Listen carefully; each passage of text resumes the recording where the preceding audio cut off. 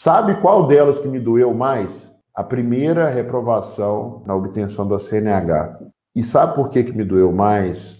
Porque ao longo da minha preparação para o exame, né, para conseguir a carteira de motorista, eu percebi que eu não estava me preparando da melhor maneira. E eu não fiz nada para mudar isso.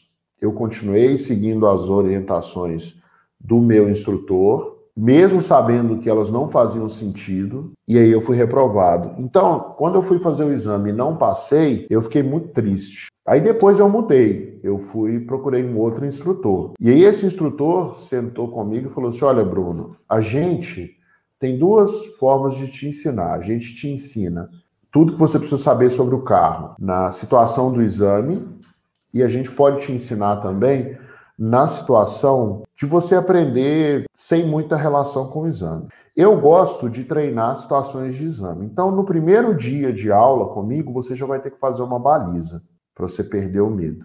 E aí eu fui tive mais aulas com esse professor e fui para o exame de novo e fui reprovado de novo. Mas dessa segunda vez eu não fiquei triste.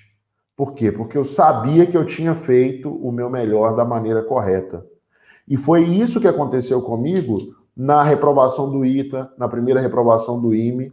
Na reprovação do FMG, não. Na reprovação do FMG, eu não sabia é, o que estava acontecendo ali, sabe? Eu fui, fui meio assim, ah, vou fazer isso aqui. Então, eu não tinha nenhum sentimento.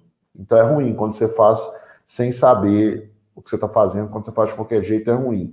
Quando você está percorrendo o caminho todo e sabe que não está no caminho certo, é muito mais doloroso a reprovação, o fracasso, do que quando você reprova porque teve pessoas melhores que você.